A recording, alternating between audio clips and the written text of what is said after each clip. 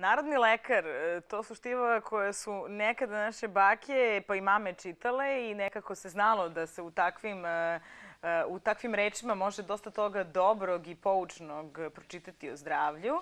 Mi vam predstavljamo jedan takav koji izlazi kao nedeljni dodatak subotom uz list Kurir. Ali evo, kao što i sami vidite na naslovnoj strani, pregrmite jesen i zimu bez gripa. Mi ćemo pričati i o virusima i prehladi koje trenutno vlada u Beogradu i nekako se svi žalimo na to. Sa nama je Vesna Stanimirović, studija emisije za Beograd koja uređuje časopis Narodni lekar. Dobrodošli. Bolje vas našla.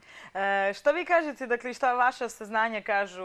Beograđani se žale, svaki drugi je prehlađen, uz to i neki stomačni virus. Dakle, može li se pregrmeti ova jesen i zima bez takvih stvari i tegoba? Pa mora. Mm -hmm. Ništa nam drugo ni ne preostaje. Naravno mora, a i ovo već ne bi da se žalim na ovo toplo vreme. Meni lično prija, nadam Divno se, evo i virusima prija. Upravo to i jeste zato tako. Ovo pregrmite jesen i zimu bez virusa i gripa, pa samo prođite na najbolji mogući način. E, negde oslušnite sebe, kažu stare bake, evo kao i u Narodnom lekaru, sedam dana lečio, ne lečio virus, traje. traje tako jeste. Je, da. Tako da nikako ne bih preporučili ovaj, da se na svoju ruku uzimaju antibiotici. Uh mhm. -huh. Čajevi, vitamin C, sve to negde odavno poznato. Biće virusa, biće gripa, nadam se ne pandemije, biće svega. biće svega pa i zime za nedelju dana, ali mi ćemo kao... Ne, o, prosto taj imunitet, svi kažu imunitet, kao da je to nešto ovaj, što možete da gradi. To jeste nešto što možete da gradite, ali se ruši kao lego kockica čim ga neki prvi virus ovaj, pogodi. Zato tu negde treba dati akcenat na preventivi, a onda kad dođe, lako se i prođe sve to. Da. E, u ovom poslednjem broju, odnosno poslednjem dodatku, dakle to je izašlo sada za vikend. Jeste, u subotu. I e, mi ćemo pričati i o onome što spremate za naredni vikend, ali važna je tema kojom smo se i mi u emisiji za Beograd bavili, a to je e, određena predrasuda i, hajde da kažemo, diskriminacija kada su u pitanju osobe koje boluju od psorijaze. I nekako to je tema za koju smo svi smatrali da ne postoji, i da smo svi negde naučili neke osnovne stvari, ali ipak čini se da nismo. Ne, očigledno da nismo naučili ovaj, ni, ni osnovne stvari, kao što vi kažete, mislili smo da jesmo, ali nismo. Pitanje krenite od sebe, da li biste pružili ruku osobi koja ima onako izljuspanu skroz ruku, sve nekako zaziremo svi, a to niti je zarazna bolest i oni se zaista suočavaju sa strašnim stvarima od toga da neće da ih poslodavci prime na posao, a oni su ljudi potpuno, potpuno i mentalno i fizički zdravi, osim što imaju tu bolest koja, eto sad uz pomoć nekih bioloških lekova koji se iskreno se nadam stići će i kod nas, oni će moći da vode normalan život. A m, ljudi se, negde svi znate da i mi zaziremo kad vidite e, nekoga ko je drugačiji od ostali. Ne bi to čak nazvala ni, ni, ni ljude sa posebnim potrebama. E, pre neki dan sam prisustvovala sceni u autobusu. E, ušao je slep čovek sa štapom. Devojka je ustala, pomerila se da on sedne ne razmišljajući, to je zaista gest koji je okej, okay, ali mi ne znamo kako ćemo da priđemo tim. Negde nismo dovoljno, da li smemo da ga dodirnemo da. za ruku, da li trebamo da mu kažemo, s koje strane da...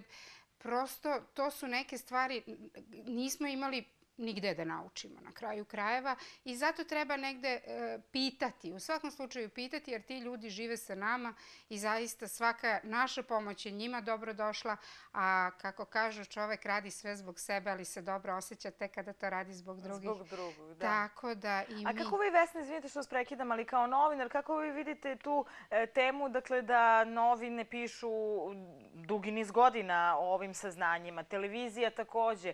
E, čini se da se ljudi nauče i da negde prevazeću taj strah od predrasuda nepoznatog, od bolesti, jedino kada se suoče sa osobom koja ima tu bolest. Pa, Nekako kroz iskustvo jedino najbolje naučimo. Očigledno je tako. I, I to je ono što ja, e, što negde svi znamo. To se meni neće desiti. To se nikom u mom okruženju neće desiti. Nikakva bolest. To ne postoji. Naravno da ne postoji. I zato treba, mislim da i, i mediji ne, do, ne daju dovoljno pažnje tome kako se, svi pričamo o bolestima, svi pričamo o tome šta ti, kroz šta ti ljudi prolaze, ali niko ne da praktičan savet. Ako, ako vidite slepog čoveka čoveka koji želi da pređe ulicu, uh, uhvatite ga za ruku, stavite mu ruku na rame, ne znam, prosto Da, nekako da. obratite mu se da ste tu. Ako vidite nekoga, je, isto je jedna scena bila isto fantastična. Uh, čovek je izlazio sa štakama iz autobusa. Uh, jedan čovek je, drugi čovek koji je stajao da hteo da mu pomogne i uzeo mu je štake. Prosto to su negde ljudske, ne znate kako da se ponašate. Da, da. Zaista, mislim, ti praktični saveti.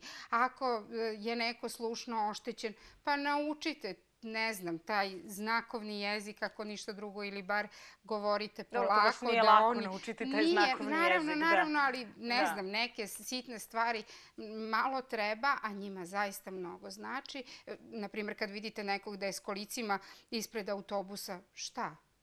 Jel priđete nekad i pitate? Ne, isto ko ni ja. Ne znam šta bih s njim, ne Da, znam kako da, bi ubacila. Ako nisu oni nisko podni, a vidite da je tu na autobuskoj stanici, verovatno želi da, se Da. preveze. Prosto nismo tu, u tom delu nismo edukovani. Zato ja negde uvek pozovem udruženja pacijenata, zaista ih ima, i pitam šta je to konkretno što mi možemo kao vaši sugrađani koji smo svaki dan pored vas da uradimo. Da, A, da vam, vam- pomognemo. da vam e da, to, to samo praktično. Ono što je bila goruća tema protekle nedelje i još uvek se pomalo priča o tome, u medijima pogotovo, jeste hrana, lek ili otrov. Dakle, pričalo se o tome slaninica, crveno meso, zdravo, ne. Vi ste se takođe pozabavili ovom temom. Jesmo. Pozabavili smo se temom ovaj, i negde smo pokušali da razbijemo predrasude. E, Crveno meso da, ali i slaninica, ta U naša određenim da. umerenim količinama. Prvo, prvo u umerenim količinama, a pritom onako kako su spremali naši stari. Tu je u stvari, tu je onaj keč. Mhm. E, jer prerada napravi problem u, to, u svim tim prerađevinama. Ti silni dodaci, to grejanje, hlađenje, već šta se sve radi, tu je problem u tim. I naravno uvek je količina Tako i kome prija. Naravno neće, neće jesti oni koji nisu jeli slaninu do sada. Još malo da se pozabavimo e, decom. Dakle, ovaj, imate i ovde rubriku koja se zove Super mama e, i imamo savete pedijatara, dakle u ovom slučaju doktorka Mirjana Mićović. E, šta je ono što, što je možda predviđeno za naredni broj, a kada su u pitanju deca i U mama? narednom broju ćemo, pošto će naredni broj da se bavi e, dijabetesom, to će biti glavna Mhm. tema jer je 14.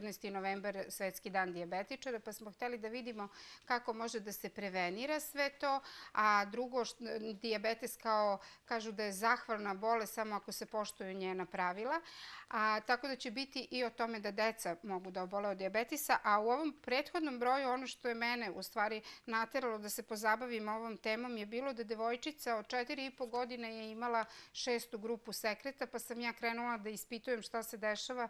To su u stvari kandide kod devojčica kao i kod dečaka, što može da se javi posle uzimanja antibiotika. Antibiotika, da, da. Hvala vam puno, Vesna. Mi e, svakako, dakle, ne možemo e, sada sve e, ovo prikazati, ali smo dovoljno zaintrigirali gledalce da u subotu ovaj, kupe Potraže svoj primjer. Svakako, potraže svoj primjer i nove sadržaje na kioscima svake subote, svakog vikenda kada je u pitanju zdravlje i narodni lekar. Hvala, vam puno.